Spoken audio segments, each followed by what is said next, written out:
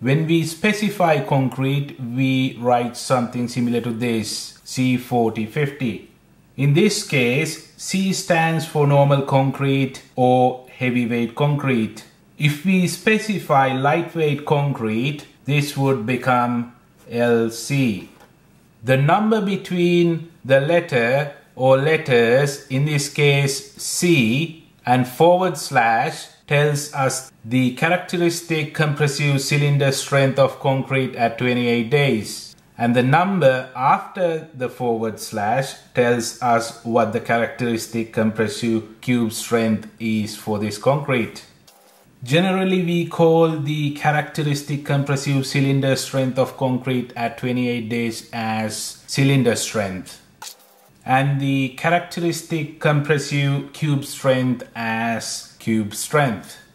In this case, cylinder strength is 40 and the cube strength is 50. Let's look into cylinder strength in more detail because in Eurocodes, mostly we use characteristic compressive cylinder strength which is noted as FCK.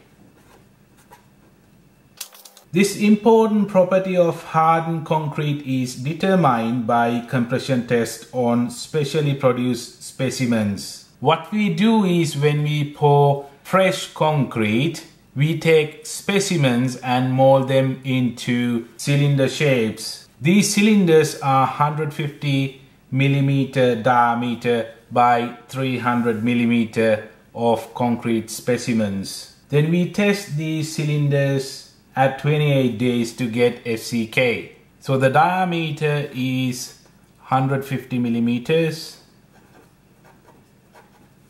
and the height of the cylinder is 300 millimeter and then we carry out compression tests on these specimens at 28 days.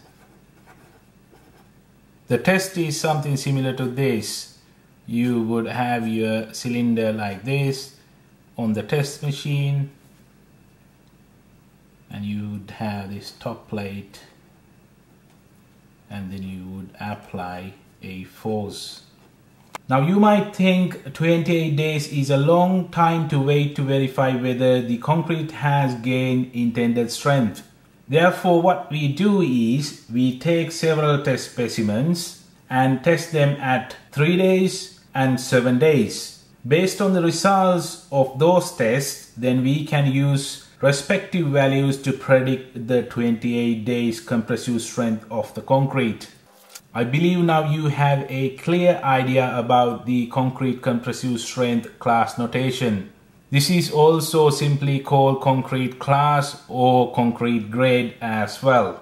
If you have any questions about this video, please post your questions in the comment section. If you like the video, please like the video. And if you would like to see more videos like this one, please subscribe to our channel. Thank you for watching the video.